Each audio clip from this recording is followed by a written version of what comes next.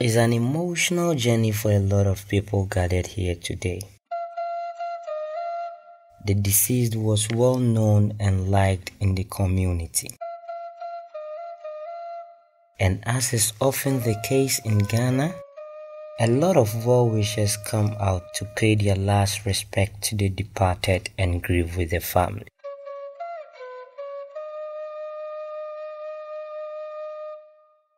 We are not an individualist culture. We are the sum of every achievement and shortcomings of the whole clan, tribe, and country.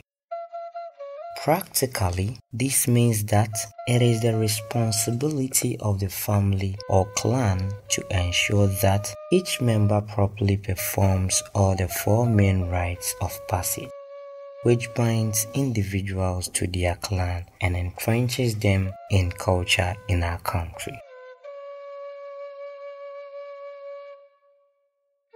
So serious are these requirements that a family may suffer great shame when they do not successfully mark these rites. Death is a serious state of affairs in Ghana.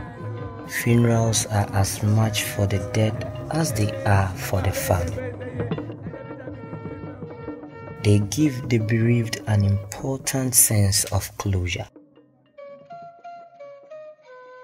It's the only way for a family to move on. But for that to happen, there is one thing you absolutely must have the body of the deceased. My name is Isaac Menson, and I cannot bury my father.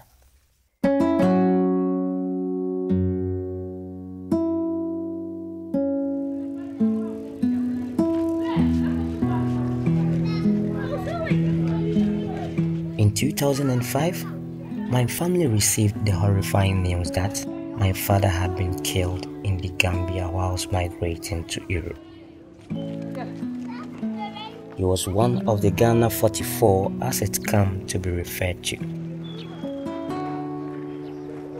My father was survived by a wife and three children. His passing left me in shock.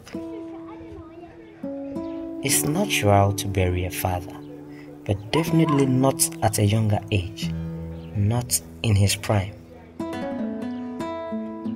and not under the circumstances under which he died.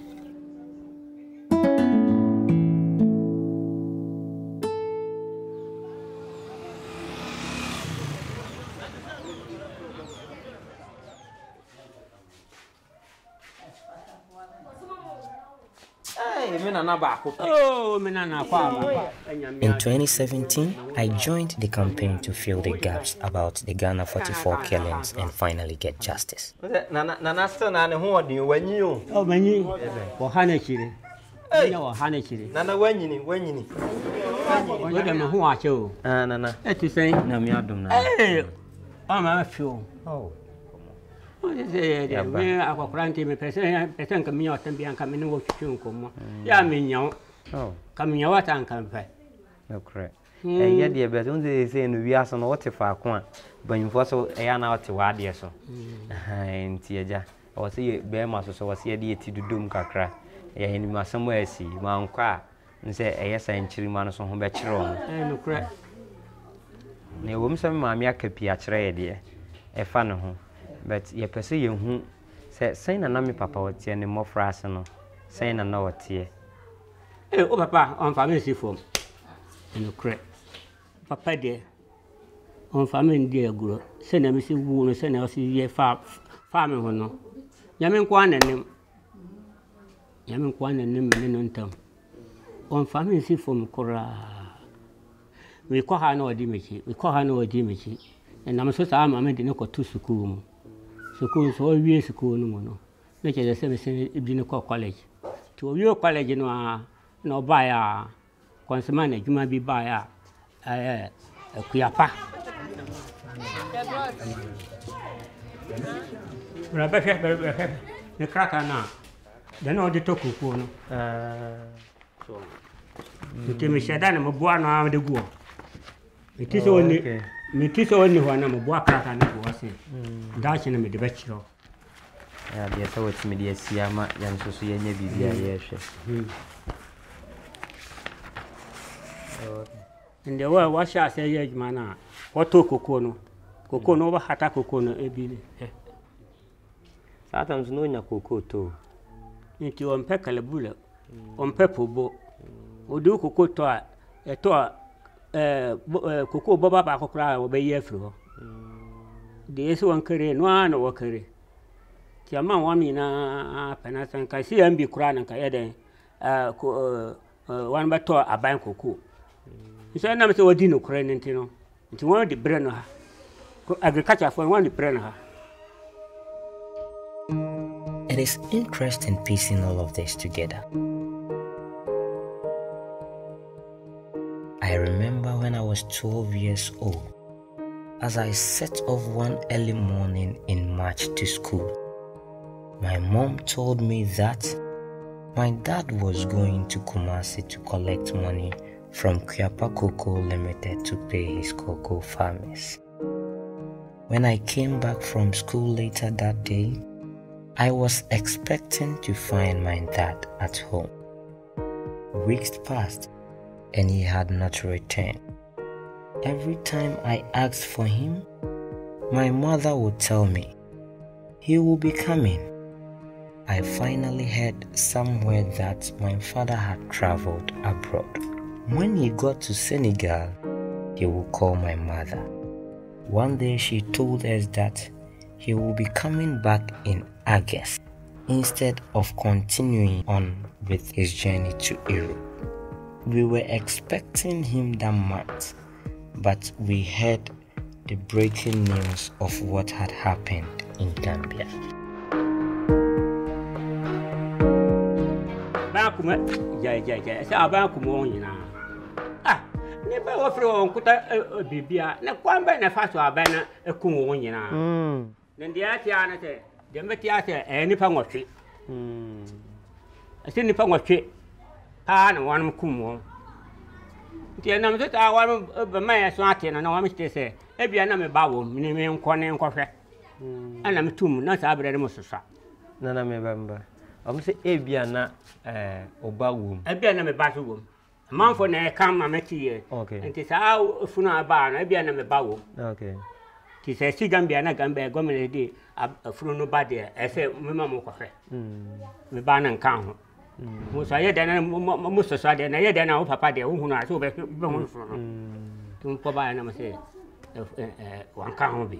saa no bi anaa ɔmo gye wɔn ho adeɛ bi na ɛde kɔ hwɛɛ hwɛɛ sɛ ɛɛ ɔba ne bi yɛ mu bi de kɔɛ because ata ne yɛ yɛ dabi dabi obi ama ha metwi mi mogya nkɔtɛ sɛ nhwɛ sɛ me ba ne me ba obi anfa obi ama ha metɛ sɛ mi mogya. Na na na mpakyɛ ɔmo kaa sɛ ɔmo aku ɔmo no a wɔntɛn ho hwee bio mu. Ɔmo de krataa a ɛdi adanseɛ sɛ me papa awu no ɔmo de brɛ wo anaa anaa ɔmo de ama obi. Saa krataa no pɔtɔ kasa mu yɛfrɛ no death certificate. Woanya krataa bi saa ɛfiri aban hɔ anaa ɛfiri ayaresabea bi hɔ sɛ menya bi saa. Wonya menya biribiaa bi saa. saa. Menya saa krata saa. Okay.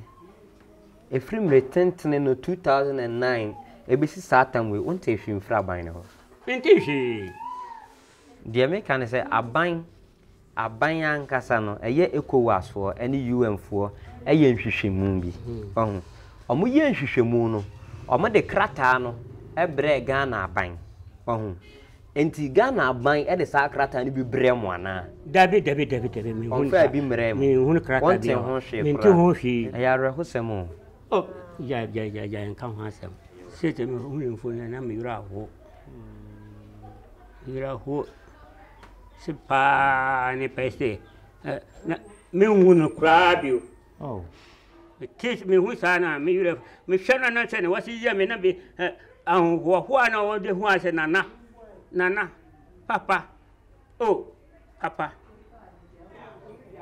Tire nyinaa hwere mi. thank you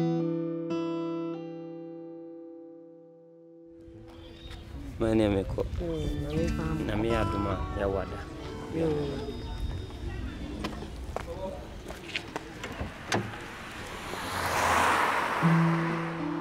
I am setting off to Accra today to visit a number of activists who have been instrumental in seeking for justice for families of victims of the Ghana 44.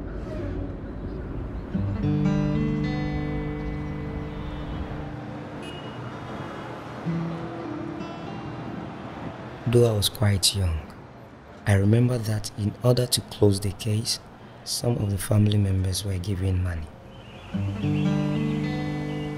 To find out more, I am meeting with Mina Mensah. Her organization, the Commonwealth Human Rights Initiative, took up the case back in 2005, really advocating for us. So, how did you feel when the government secured some monies for the Ghanaian victims? Honestly, I was upset Okay. because at the end of the day, it's not only about money, it's about justice for the victims. If um, proper work had been done, then I guess the families would have gotten more than what they got, and they would have also gotten justice. So, could you brief us about how you disbursed, how the money was disbursed? Do you know? Do you have any idea about it? No, this, this was this was- purely done by the Ministry of Foreign Affairs. Okay. I had no clue. I just heard that they had given the family 10,000 cedis. They had used some to uh, buy uh, coffins. They had used some to dig graves, which I thought should have been government responsibility. And then they had used, in fact, what even um, upset me was the fact that they even said that they had used some of the money as a donation how could government use monies that had been released for the families use the same money as donation and then also use some as certain allowance Mommy, for those who were uh, went the meeting with donations, who did they donate the money to? i have no idea i wasn't there Okay.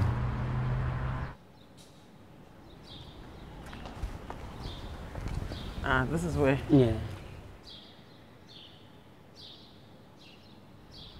In loving memory of 44 Ghanaians who lost their lives under tragic circumstances in the Gambia in 2005.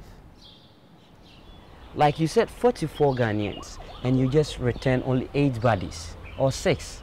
and that is what the Gam- gambian government returned to us i think eight bodies were brought initially or so it's been a long while and one of them was found not to be a ghanaian On what basis did they identify that th- those people here, these people here, are Ghanaians? And well, there was a pathologist. So I guess scientifically, from their identification, these are Ghanaians.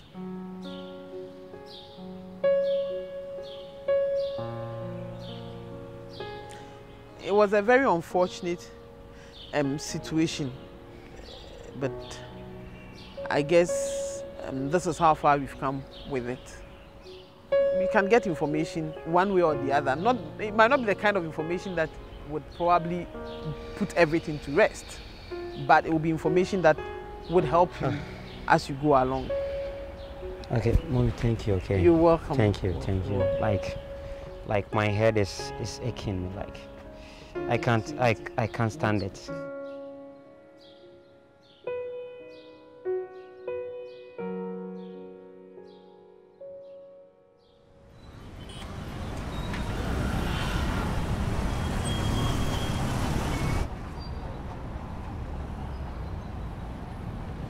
I imagine my father's long awaited funeral. It would take place in the city center of Akomadan, where events are frequent occurrence. I imagine my hand gliding over the wooden casket that will give my father a proper final physical abode. It has been over 10 years so I am aware that we will be burying his bones. It does not matter. He deserves to be buried with dignity. I can see us wrapped in a red and black cloth.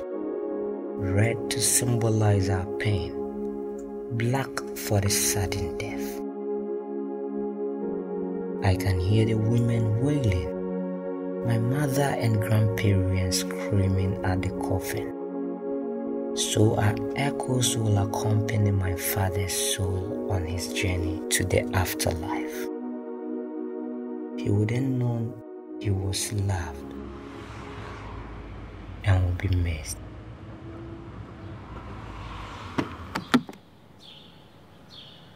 I am meeting with Professor Kwame Karikari, the former Executive Director of Media Foundation for West Africa. He was also around with Mina campaigning for justice. He has been campaigning all these years for the Right to Information Act to be passed in Ghana. Prof, so now that the Right to Information Act has been passed, can people like me try to get access to those files concerning the tragedy of my father's case? I believe so because uh, the Ghana government and the Gambian government were in negotiations concerning that whole issue. Because the right to information is a constitutionally guaranteed right as citizens and as children of the victims, you have every right to get information concerning that whole issue. So, Prof, on the coroner thing, how best can we try and then see him so that he can help us with the eight bodies returned, like their names and their identities? Yes. The coroner performed his or her work for uh, a government institution. So it should be a part of it to request to get the coroner's report so that we know the, the true identities. We want information about that experience so that we will pursue justice for the victims because Yahya cannot go scot-free. Scot-free, no. This is really a case of crimes against humanity. Yes. Because these are people who committed no crime at all. They were West African citizens, so you couldn't even say that they were in the Gambia illegally. If anybody is in a country illegally, you return them to where they came from. You don't murder them. Now, there is a, a truth and reconciliation process going on in the Gambia, which is gathering evidence. The security agents, they are giving information and evidence that yes, Yahya Jammeh ordered them to kill those people. So there is uh, evidence in, in the Gambia that Yahya Jammeh was responsible. He cannot deny this. Okay, Prof, so can we try Yahya Jammeh in Ghana? Can we try him here in Ghana? Yeah, Ghana can, can, can try Yahya Jammeh here. Why not? Okay. It's a matter of politics. If the Ghana government politically has the will, wants Yahya Jammeh to be tried here. He can be tried here. The only question is whether the dictator in Equatorial Guinea will allow him to be brought out of his hiding place in Equatorial Guinea. It has been difficult to mourn my father without his remains and without us getting justice. The most difficult part of our experience is that we do not feel supported by the Ghana government. I don't think we are being treated fairly. Is it because my father and the others were migrants? Hmm.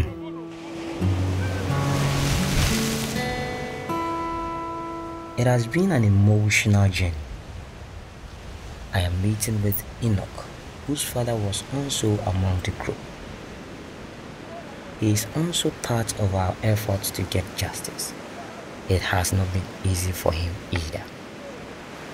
My dad was was a very good person. He was a very strong Christian. He was even in a choir. Oh, okay. He was even part of the mass choir. They used to sing and all that. My dad was into business, into shoe business. So he wanted to extend his business going to Spain. You understand? And the strategy happened. And and he, he, he, was somebody who loved my mom so much. Like he loved her so much. And this thing is, is so sad. you know something? I, I heard somewhere that some of the junglers are confessing, and I have this on my on my phone. Can we can we have a view of it? Hmm. So when I took this man up to the ditch, before we reached the ditch, he was having a note, 100 euro note. He gave it to me. He told me that it's, it's not necessary for me to die with this. You are living, you may use it. You have been nice to me since we take off from Banjul. When we arrived, he asked me to give him. Sanna Manjang told me, finish, finish him. He asked me for, for me to allow him to say his prayers. I said, go ahead. He kneeled down to say his prayers. Then Sanna Manjang has already released the shot and fired him. People that did the job, yeah. people that did the execution, yeah. have come out to come and say that we did this. So what is the government waiting for? Our current president now, Nana Akufo-Addo, you were the foreign minister. You were the foreign minister. If even right. that time you don't have power, yes. now you are the overall boss. Yes. Now you have power. He is the president. If you say do this, it will be done. Yes. So what are we waiting for? Families are struggling. Yes. 44 Ghanaians, people's uncles that were hopes, people's fathers are killed. That's and true. they were people that they were going out there to bring greener pastures to their family. They are killed, and Nana Akufo-Addo, you are the one always say that about migration, people traveling to other places. You are yeah. concerned about that. It's, you understand? It, it, and, it and we expect the Ghana government to take this matter up, give us justice. If I heard Yahya Jammeh is in Equatorial Guinea, yeah, he he's should there. bring this man, whatever diplomatic, uh, what they call a movement or um, political, whatever thing they have to yeah. follow, they should follow for us. You, you know something? Maybe they have something to hide. Maybe. Maybe they are protecting the maybe, interests of, of Yahya maybe, Jammeh. Maybe diplomatic call or something. But I don't why? think this thing is about diplomatic. Why do you there's have no to, why, this. why do you have to protect an outsider, a foreigner, at the expense of your of your own indigents? That is not that is not fair.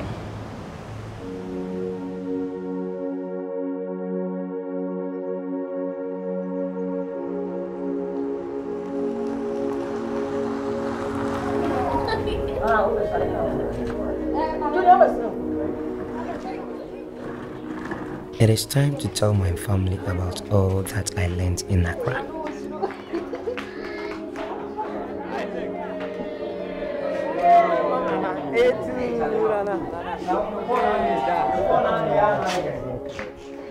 It was hard listening to those men talk about the murders. It pained me. I believe it was my father who was killed after handing over the 100 euro notes. My mother told me she had sewn some money in his trousers.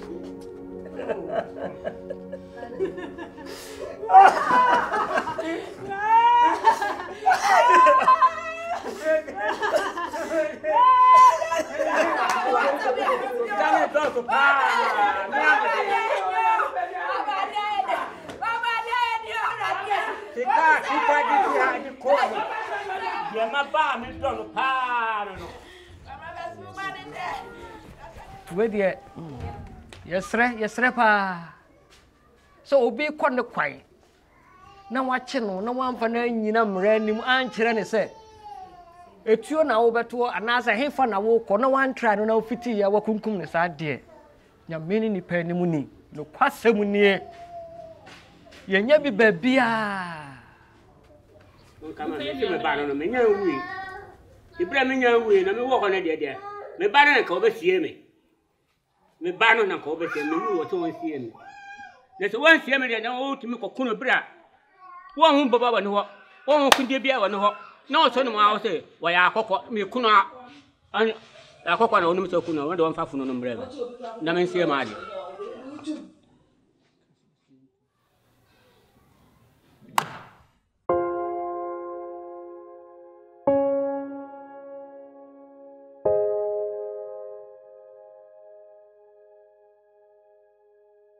Find solace in the church. It has been central to my life, both in joy and sorrow. I feel at home. the church has provided comfort for all these questions that haunted me. Did my father suffer? What was he wearing? What were his last thoughts?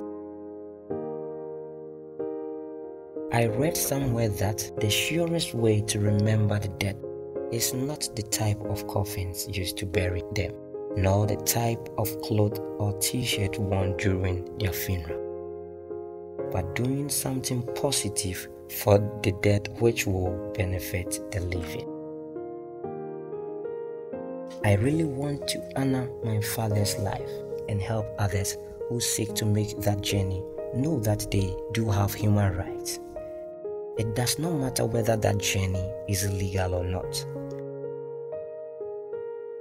I have come a long way and still have far to go.